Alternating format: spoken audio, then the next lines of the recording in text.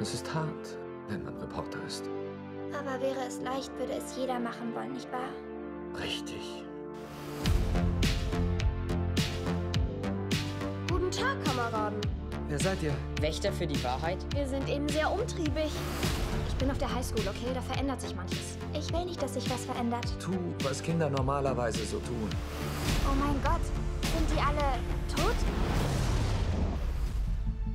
Ich habe gedacht, vielleicht hätte ich die wichtigste Story meines Lebens schon geschrieben. Aber das war wichtiger.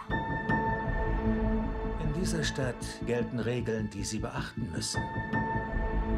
Die Menschen haben das Recht zu wissen, ob sie möglicherweise krank werden. Dann vertuschen die das seit vielen Jahren. Oh mein Gott. Finden wir nicht raus, was die da vertuschen, könnten alle in dieser Stadt in Gefahr sein. Wir lassen es nicht so weit kommen.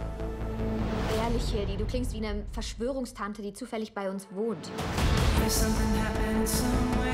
könnten wir Richie finden. Er hat etwas gehört und deswegen hat man ihn entführt. Verbotenes Betreten. An einem Sonntag? Aber es geschah mit den besten Absichten. Kriegen Sie Ihre Tochter wieder in den Griff. War das eben etwa eine Drohung?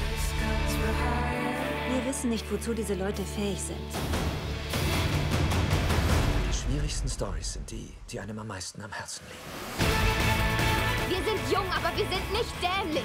Ich hab keine Angst vor ihnen! Sie können es niemals verhindern, dass sie die Wahrheit erzählt.